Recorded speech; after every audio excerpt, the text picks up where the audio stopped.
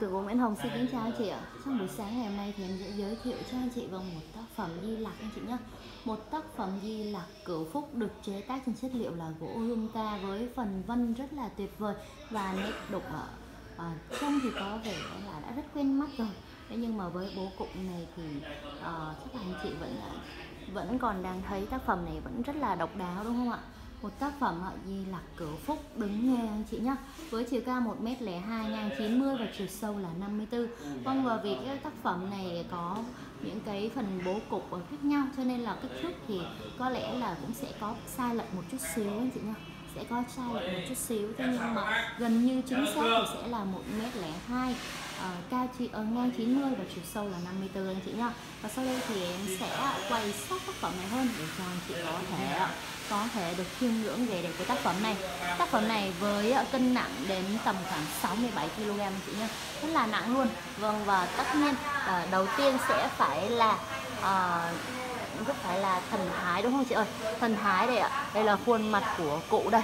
Đấy, với nụ cười rất là uh, tươi vui và hoan hỉ luôn anh chị nhá. Vâng ạ những cái khuôn mặt của ngài đây những cái bộ lông mày này. Đấy và những cái phần khóe mặt rất là xinh ờ, rất là tươi vui luôn anh chị nhá. Đấy một khuôn mặt rất là hoan hỉ với phần vân gỗ hương ta anh chị anh chị có nhìn thấy rõ phần vân gỗ hương ta không ạ? Rất là tuyệt vời luôn nhá anh chị nhá. Đấy phần vân Đấy, hầu như là phần vân đẹp của tác phẩm này thì đều nằm hoàn toàn nhân vật chính của chúng ta. Là cụ Di Lặc đúng không ạ? Vâng ạ. Nụ cười rất là hoan hỉ những phần hai giái tai của cụ đây. Cũng được làm rất là tròn trịa và phúc hậu chị nhá.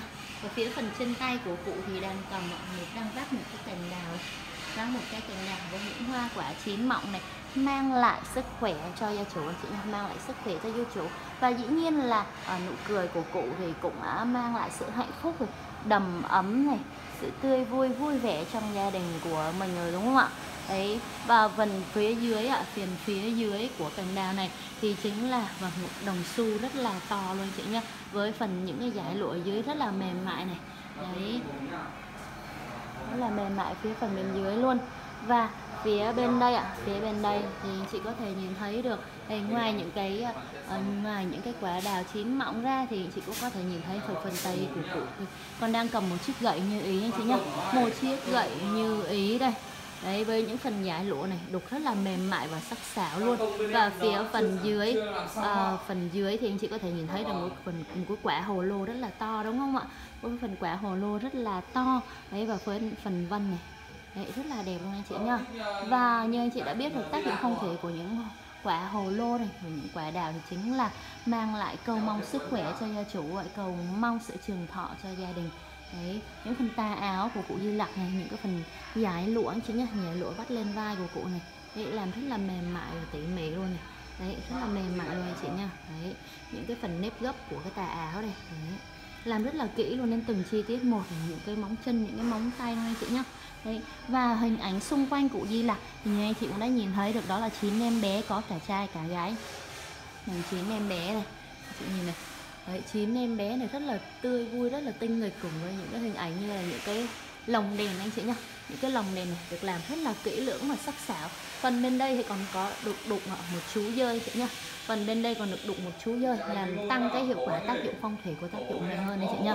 Và mặt sau thì anh chị cũng có thể nhìn thấy được đó, mà là một phần vầng trăng này cái phần vầng trăng tròn anh chị nhá với những cái đám mây tỉa tóc rất là mềm mại và sắc nét luôn đấy một cái tác phẩm phải gọi là ờ, cũng gần gọi như là tuyệt phẩm với những chi tiết nhỏ nhặt nhưng cũng làm rất là kỹ luôn ạ Vâng, và anh chị có thể nhìn thấy được là những cô bé, cậu bé đây rất là xinh xắn này với phần thần thái và những cái cọng tóc, những phần tà áo làm rất là kỹ lưỡng luôn này. Đấy, những cô bé, cậu bé rất là xinh xắn luôn đây chị nhá, rất là xinh xắn và tinh nghịch.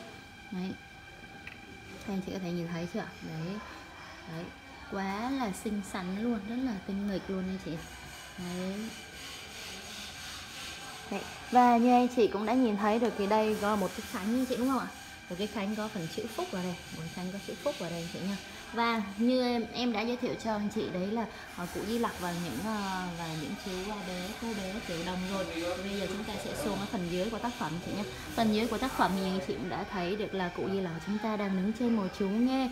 Và nghe thì đã là linh vật đã rất là quen thuộc với người dân Việt Nam rồi đúng không ạ? Vâng, và một tác dụng của những chú nghe này là chấn trạch trừ tà trông giữ nhà cửa cho gia chủ chiêu hút tài lộng mang lại sự may chị nhá vâng một chú nghe đục này rất là kỹ lưỡng và sắc sảo này. Anh chị nhìn bộ răng này chị nhá bộ răng này và những cái phần bộ lông xung quanh này. Xoay. Đấy xoáy xoáy rất là mềm mại luôn. Đấy, và cái phần da đây.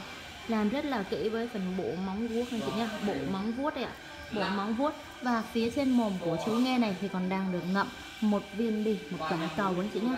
Một quả cầu và phía đây là những cái đồng tiền vàng chị ơi. Rất là nhiều đồng xu đồng tiền vàng luôn.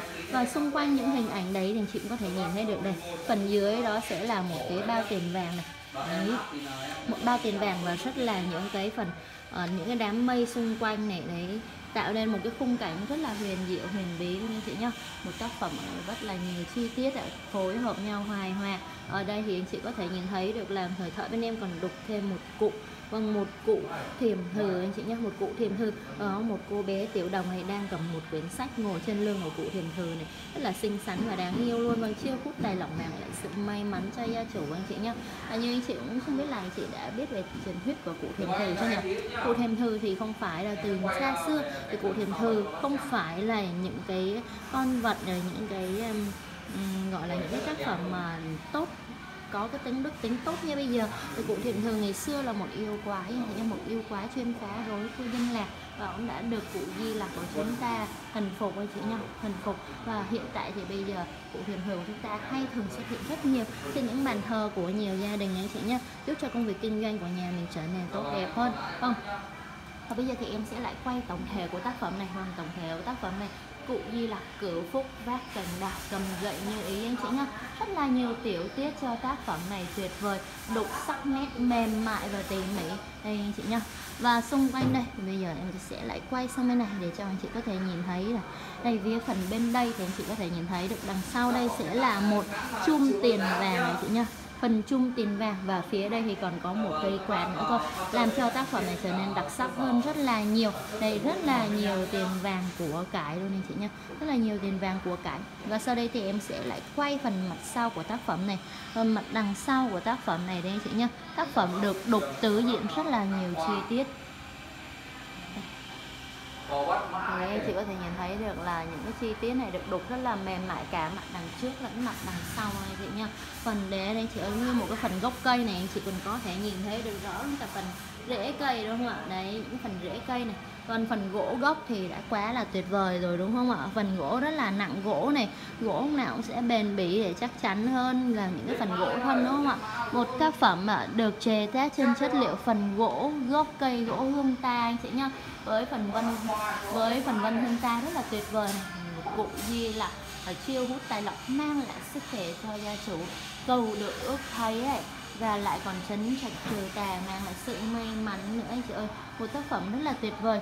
Chiều cao 1m02 ngang 90 và chiều sâu là 54 anh chị nhé và giá cái tác phẩm này vâng không biết anh chị đã tò mò đến phần giá trị của tác phẩm này chưa nên là chị đã tò mò đến phần giá trị của tác phẩm này chưa vâng 19 triệu 800 nghìn đồng 19 triệu 800 nghìn đồng và bên em bài ship cho anh chị đến tận nhà Vâng phải nói là vòng với một cái tác phẩm rất là nhiều chi tiết nhỏ như thế này thì em vẫn sẽ ưu tiên hơn với những cái bác mà ở gần. Ở gần thì chúng ta có thể vận chuyển tác phẩm này dễ hơn hoặc là với những bác ở xa thì chúng ta có thể lựa chọn một phương thức vận chuyển nào đấy. Uh, nó an toàn hơn một chút nữa chúng ta có thể ở gần cái bến xe thì sẽ tải đến cho anh chị. Với những tác phẩm này mình sẽ an toàn hơn rất là nhiều vì độ kênh bong cao anh chị nhá.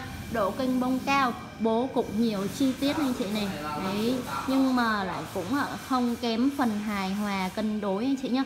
Một tác phẩm nặng đến gần 67 kg vâng một cụ gì là đục hình thái sắc nét tỉ mỉ với rất là nhiều những cái chi tiết còn được đục cả cụ thiềm thờ và những chú nghe. Này rất là tuyệt vời luôn. Và chú nghe của chúng ta những chị cũng nhìn thấy này. Đây, lại còn đục hẳn ở một quả quần à, quả bóng mây. Quả bóng mây, rất là nhiều tiền vàng của cải và đục đến tận 9 em bé. Chị nhá, chín em bé và những hũ tiền vàng, chị ơi những cái hũ tiền vàng, những cái chung tiền vàng vâng rất là nhiều tiền vàng của cải cho gia chủ luôn ạ. Và anh chị ơi, với một tác phẩm tuyệt vời như thế này, thì xin là anh chị hãy à, cân đối cho mình không gian để có thể đặt được tác phẩm tuyệt vời như thế này trong căn nhà của mình. Hãy nhấc máy lên mọi nghe cho tượng gỗ Nguyễn Hồng anh chị nhá, để có thể sở hữu một tác phẩm tuyệt vời như thế này với giá cả phải chăng? Vâng anh chị ơi, em sẽ không tiết lộ giá của tác phẩm này trong video này đâu ạ thì hình như là em nhớ em có nói rồi. Vâng 19 triệu 800 nghìn đồng chị nhá. 19 triệu 800 nghìn đồng. Vâng em đang tính là cho anh chị uh, cảm thấy tò mò hơn và gọi điện thoại ngay cho bên em để có thể biết được giá của tác phẩm này. Nhưng mà em đã nói rồi mà em quên mất. Vâng 19 triệu 800 nghìn đồng trên một tác phẩm tuyệt vời như thế này chị nhá. Cả thiền thư cả nghe chín em bé rất là nhiều chung tiền vàng của cải ờ, những cành đào này những đám mây xung quanh. Vâng ạ. Phúc lộc thọ là tuyệt vời chị ơi. Những chi tiết tuyệt vời và đẹp mắt luôn anh chị nhá. Vâng và gọi ngay cho bên em anh chị nhá. Số điện thoại 0987 336 318 và 0966 336 318 ạ. Để có thể sở hữu được một tác phẩm tuyệt vời như thế này.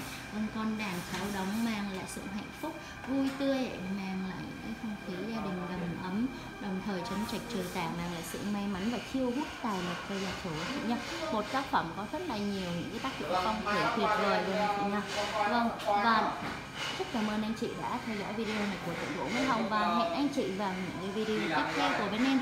À, anh chị nào chưa ấn đăng ký tượng gỗ Nguyễn Hồng hãy nhanh tay ấn đăng ký. Anh chị nhá số điện thoại của bên em 0987 336 318 và 0966 336 318 ạ à. hẹn anh chị vào video tiếp theo chị nhé